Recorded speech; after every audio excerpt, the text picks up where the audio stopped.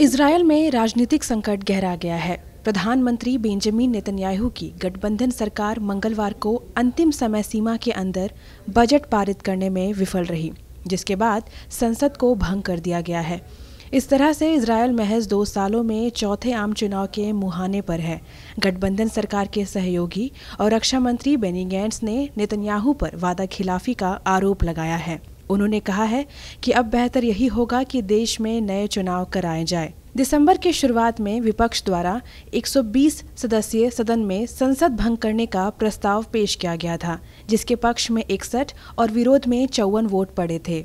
Benjamin Netanyahu Likud party के अध्यक्ष है। जबकि रक्षा मंत्री Benny Gantz blue and white party से जुड़े हैं। अप्रैल में दोनों दलों ने एक साझा समझौते के तहत सरकार बनाई थी। हालाँकि जल्द ही दोनों दलों के बीच मतभेद सामने आने लगे। प्रधानमंत्री बेंजामिन नेतन्याहू सरकार को समर्थन दे रही बेनी गैंट्स की ब्लू एंड व्हाइट पार्टी ने सरकार भंग करने के समर्थन में मतदान किया था। बेनी गैंट्स ने प्रधानमंत्री नेतन्याहू पर अपने हितों को देश से ऊपर रखने का आरोप लगाया है, लेकिन प्रधानमंत्री ने इन आरोपों को गलत बताया। है। दोनों के बीच ताज़ा विवाद बजट को लेकर है।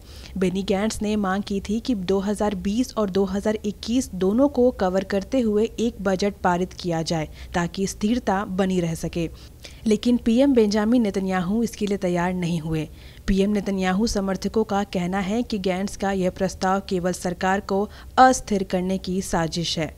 वो नेतन्याहू को हटाकर खुद प्रधानमंत्री बनना चाहते हैं। इसराइल की संसद नेसेट का चुनाव अनुपातिक मतदान प्रणाली के अंतर्गत होता है, जिसमें मतदाता को बैलेट पेपर पर प्रत्याशियों की जगह पार्टी को मतदान करना होता है। किसी भी पार्टी को संसद में पहुँचने के लिए कुल मतदान में से कम से कम तीन दशमलव दो पाँच फ़ीसदी वोट पाना ज़रूरी है। यदि किसी पार्टी का वोट प्रतिशत तीन दशमलव दो पाँच फ़ीसदी से कम होता है तो उसे संसद की कोई भी सीट नहीं मिलती है। पार्टियों को मिले मत प्रतिशत के अनुपात में उन्हें संसद की सीटें आवंटित कर दी जाती है। यह प्रक्रिया 28 दिनों के अंदर पूरी कर ली जाती है। इसराइल के इतिहास में कोई भी पार्टी आज तक पूर्ण बहुमत से सरकार नहीं बना पाई है। संसद भंग होने पर इजरायली कानून के मुताबिक मार्च तक एक बार फिर आम चुनाव कराना अनिवार्य होगा। ऐसे में बीते सालों में यह चौथी बार होगा जब इसराइल में आम चुनाव होंगे। इससे पहले तीसरी बार हुए चुनाव में किसी भी पार्टी को बहुमत नहीं मिला था, जिसके बाद पीएम बेंजामिन नेतन्याहू के नेतृत्व में लिकुड पार्टी और ब्लू एंड व्हाइट पार्टी ने मिलकर सरकार बनाई थी। नेतन्याहू का कहना है कि ब्लू और व्हाइट पार्टी समझौते से हट गई और देश को कोरोना संकट के दौरान अनावश्यक रूप से चुनावों में घसीटा गया। उन्होंने कहा कि वे चुनाव नहीं चाहते और उनकी पार्टी ने इसके खिलाफ मतदान किया है, लेकिन वे चुनाव से डरते नहीं हैं क्योंकि वे जीतेंगे।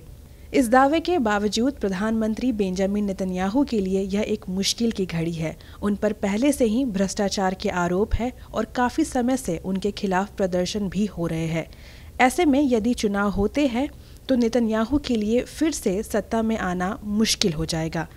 अंकुश चौबे की रिपोर्ट, गो न्यूज़।